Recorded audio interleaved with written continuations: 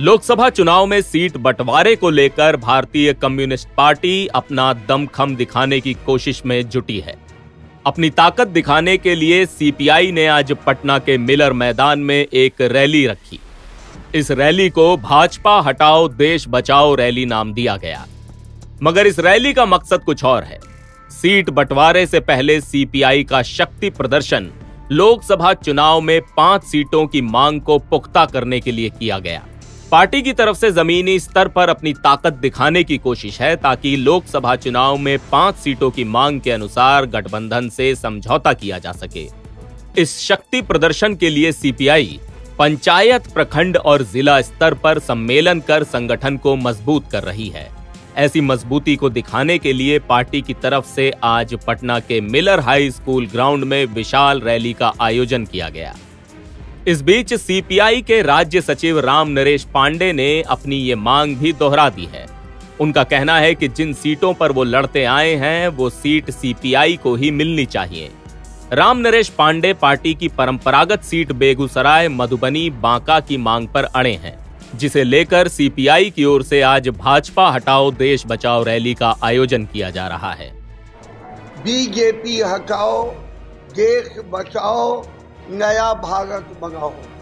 और इसी संकल्प को लेके हमारा दो नवंबर नीरल स्कूल के मैदान में विशाल रैली आयोजित है।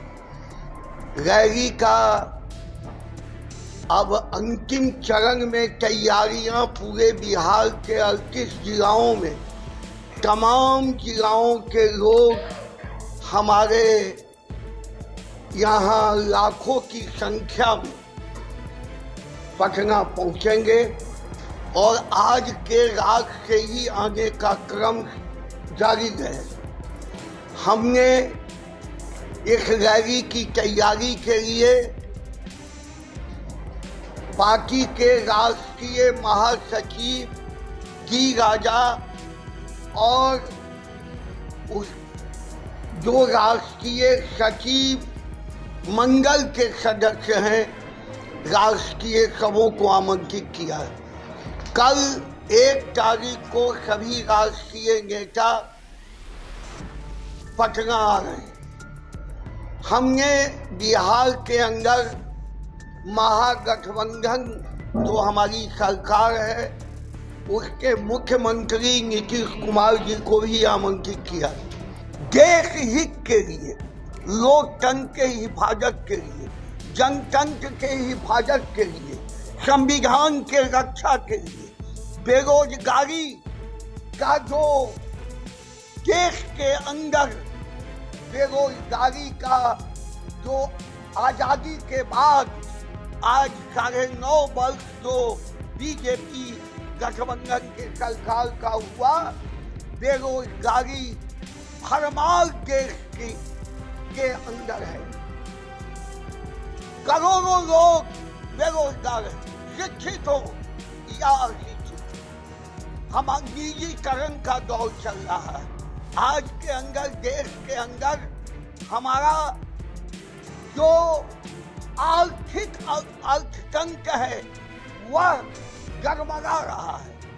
पैसा का करेंसी का नोट घट रहा है। इतना ही नहीं विदेशिक नीति आज़ादी के बाद धर्मनिरपेक्षता की थी और उसमें वैदेशिक नीति में जो दुनिया के अंदर इजराइल और फिलिस्तीन का युद्ध, या वैदेशिक नीति आम जनता, भारत की जनता इस वैदेशिक नीति को निंदा करती आम जंगल में है कि वैदेशिक नीति एक गलत मोड़ की ओर आगे बढ़ रहा है।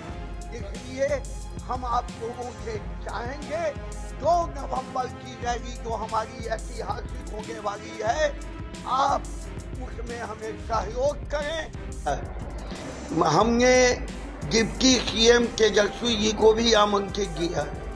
हम विभिन्न महागठबंधन के अध्यक्ष और सचिव जो हमारे हैं यू के अध्यक्ष, कांग्रेस के अध्यक्ष Akhilesh Singh C, P, M के ललन चौधरी माले के कुणाल हम सबों को आमंत्रित किया है। और उसके अलावे भी हमने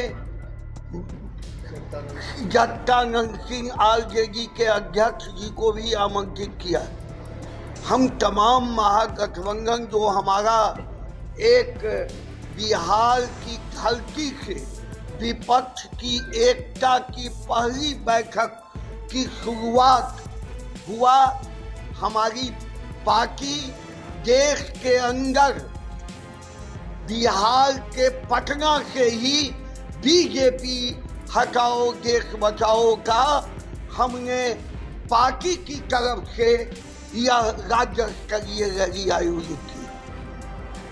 और यह शुरुआत है हमारी। हमने इसके कवल तैयारियाँ अप्रैल महीने से कर रहे चौदह अप्रैल से इक्कीस मई तक हम गाँव गाँव सूबे के अंदर पदयात्रा कार्यक्रम चलाया। हम दूसरे चरण में 8, 9 जून और 20 जून को पूरे देश में पूरे बिहार के अंदर अड़तीस जिलाओं में हमने डेढ़ लाख से ऊपर की गिरफ्तारियाँ की और जनता का समर्थन हमारी ओर बढ़ता जा रहा है। और वो आप देखेंगे मीरल स्कूल के मैदान में आप सबों को आमंत्रण है।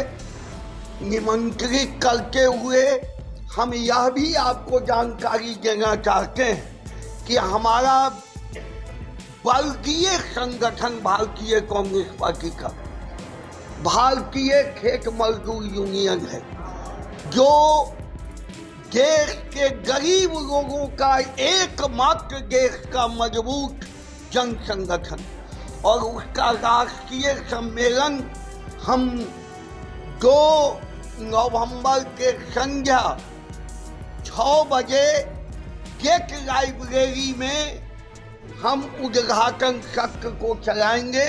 उसमें भी आप सभी आमंत्रित हैं। बताते चलें कि भाकपा माले ने उन लोकसभा क्षेत्रों में भी सम्मेलन आयोजित किए हैं जहाँ उसकी दावेदारी है। रैली के लिए महागठबंधन के घटक दलों के प्रदेश अध्यक्षों और राज्य सचिवों को आमंत्रित किया गया।